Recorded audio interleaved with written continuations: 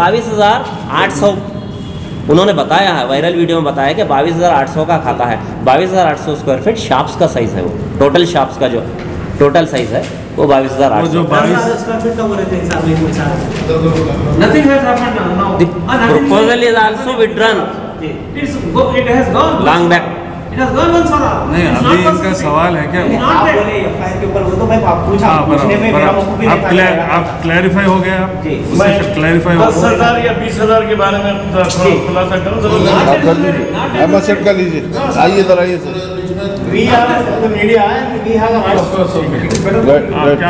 बीस हज़ार के बारे में। आपने जो कहा शहर में भी अफवाहें चल रहे हैं कि बीस हज़ार स्क्वायर फीट का खाता अलग किया जी। गया।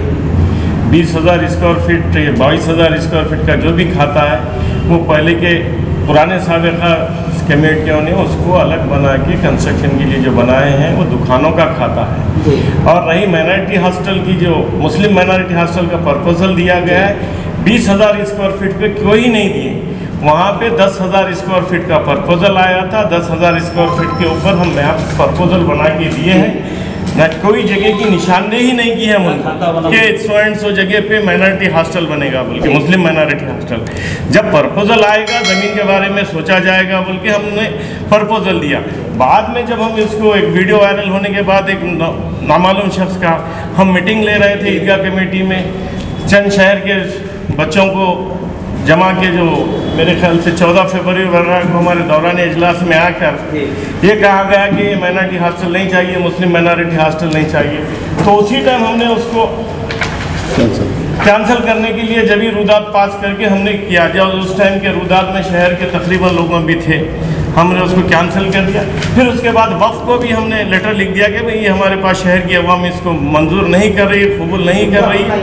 मैं बोल रहा हूँ उसके शहर की अवाम कबूल नहीं कर रही है लिहाजा इसको हम नए अप्रूवल करा लेते कैंसिल कर दीजिए बल्कि हम वक्त को भी लिख दिए हैं। जबकि वक्त से भी कोई प्रपोजल नहीं आया जैसा कि वकील साहब ने बताया तब उसका मकसद ही नहीं रहा कि माइनॉरिटी हॉस्टल तुम दे दिए पैसे ले लिए मैं फंड मिस यूज़ करे बोल के नहीं उनका बोलना यह है कि वीडियो आप लोग भी देखोगे। जी। उनका आपका टाइम पीरियड हो गया था उसके बावजूद आप ये फैसला लिए बोलकर बोलना है। जी हमारा टाइम पीरियड ख़त्म हो गया था।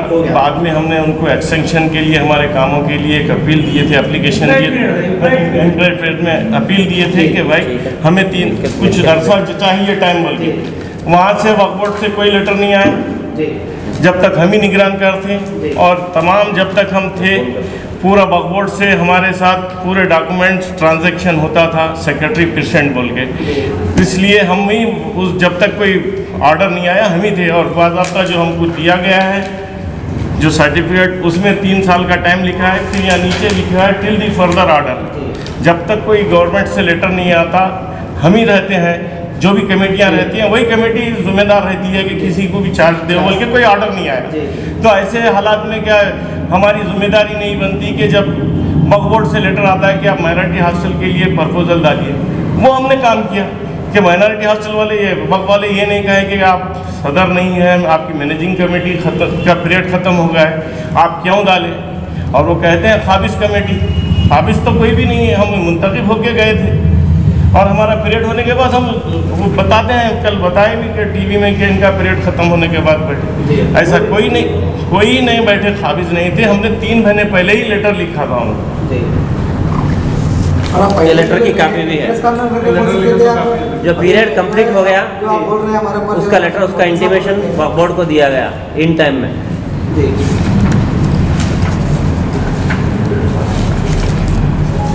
वकील साहब बोल रहे थे एफ़ हो गया एफ़ हो गया। के बाद आपको अभी टाइम था जब भी आप मीडिया को बुला के हम देखा सुना प्रेस कॉन्फ्रेंस कर सकते थे? जब भी- हम हमारा कसूर हम बेकसूर हैं साबित करना वो अदालत में साबित करेंगे। जो। कानूनी लड़ाई है वो कानून से लड़ेंगे।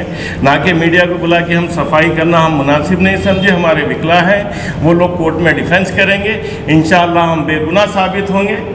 हमें अल्लाह की ज़ात पे और हिंदुस्तान के कानून पे पूरा अतमाद है।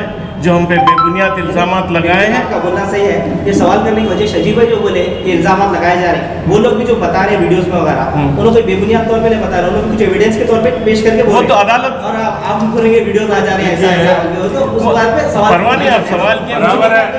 एविडेंस के- बराबर है। आप तो अदालत से आप बिल्कुल आप मामला अदालत में चल रहा है उस एफ़ के बारे में अब चर्चा करना मैं मुनासिब नहीं जो बता रहे जो बता रहे वो डॉक्यूमेंट्स उन्होंने पढ़े छि जी। जो डॉक्यूमेंट्स उन्होंने बता रहे हैं वो डॉक्यूमेंट उन्होंने पढ़े छि नहीं?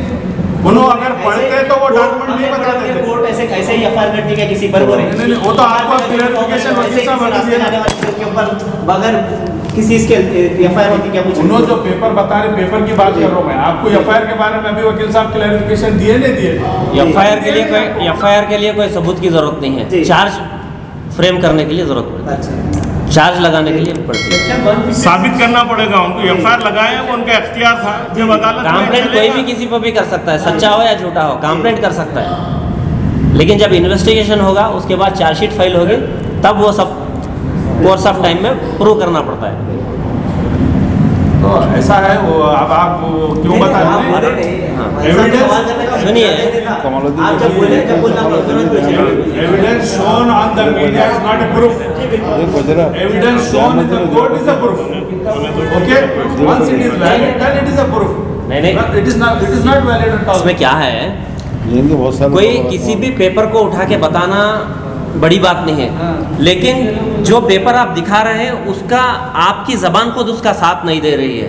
आप पेपर दिखा रहे हैं कमर्शियल कॉम्प्लेक्स का खाता दिखा ये देखिए खाता बाईस हज़ार आठ सौ का बोल के पेपर दिखा रहे हैं। लेकिन जबान से क्या बोल रहे हैं? Piece of land minority hostel को दे रहे थे बोल के। थोड़ी हो पीस ऑफ़ लैंड के मीनिंग्स क्या है?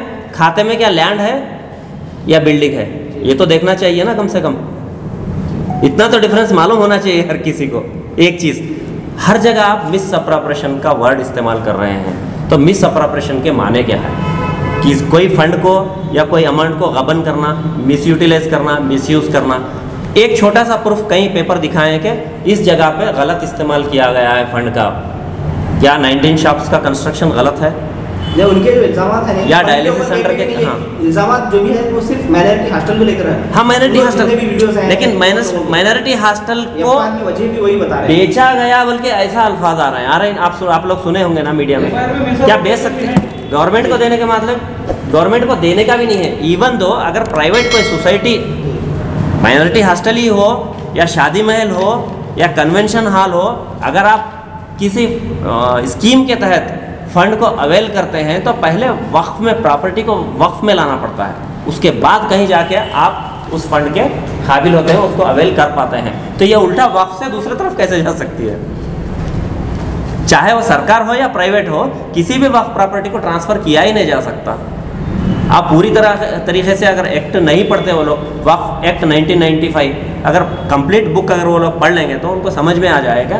कोई भी चाहे चाहे इंस्टीट्यूट हो या जिम्मेदार हो या वक्फ बोर्ड हो या सरकार हो वक्फ property once in once for a waqf means for all the time it will be waqf. उसको चेंज नहीं कर सकते।